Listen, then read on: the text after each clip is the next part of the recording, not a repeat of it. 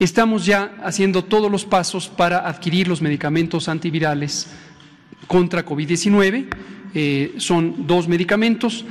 Hicimos un proceso paralelo de análisis, tanto para la regulación sanitaria, donde ya fueron aprobados estos medicamentos, y también el análisis de la evidencia científica sobre el uso correcto para usarlo de la manera óptima, asegurando su eficacia y reduciendo cualquier riesgo que pudiera estar asociado. Pasamos ya al proceso de negociación, estamos en pláticas con los dos laboratorios que lo producen, son dos medicamentos diferentes, tienen indicaciones muy específicas y esto será, igual que la vacunación, un programa del Gobierno de México para que estos medicamentos lleguen directamente a las personas que tengan una indicación médica de uso.